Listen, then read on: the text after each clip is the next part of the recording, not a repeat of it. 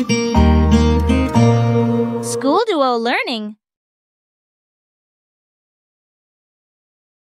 Welcome to Skoolduo Learning, where fun meets learning. In this video, we will be discussing ratio and rates. Ratio and rates. The term rate is used to describe a relationship between two quantities that are measured in different ways or units. It tells us how one quantity changes with respect to another quantity. Rates are often expressed as a ratio or fraction. For instance, you are riding a bike. Your rate of speed is how fast you are moving. If you ride 10 miles in 2 hours, your rate, which is your speed, in this case, is distance divided by time, which is 10 miles divided by 2 hours, which is 5 miles per hour. Here, the rate tells us that you're moving at 5 miles per hour. Examples of rates in our everyday life includes speed. Your speed in a car is a rate. Cost. If you buy three notebooks for $6, the rate is $2 per notebook. Time. Completing 20 math problems in 10 minutes means you are solving the math problem at the rate of two problems per minute. In understanding the concept of rate, the unit of measurement of quantities is very important. Let's look at some examples. Number one, if a call travels 120 miles in 3 hours, what is its rate in miles per hour? Rate, which is speed in this illustration, is distance divided by time, which is equals to 40 miles per hour. Number 2, the cost of 20 plates is $30. What is the price of one plate? A cost is 20 units.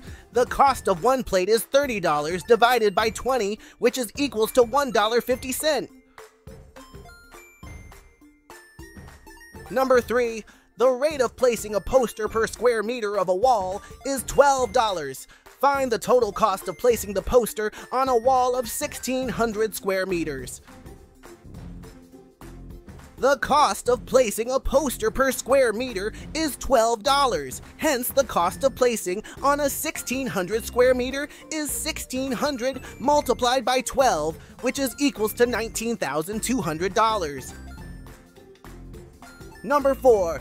The cost of 12 apples is $24, while the cost of 20 oranges is $30. Which of these fruits cost more? the cost of one apple will be $24 divided by 12, which is equals to $2, while the cost of orange will be $30 divided by 20, which is equals to $1.50.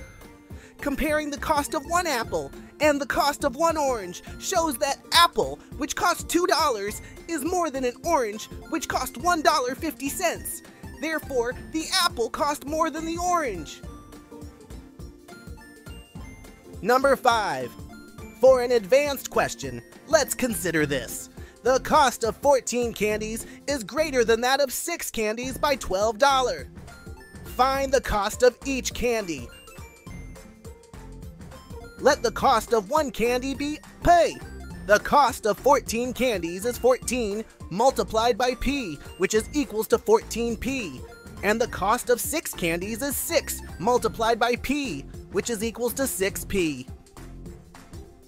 Remember from the question, the cost of 14 candies is greater than the cost of 6 candies by $12, meaning 14p is equals to 6p plus 12.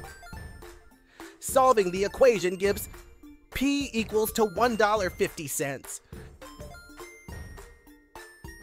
Thanks for watching with us. Please subscribe for great learning contents and hit the like button if you like this video.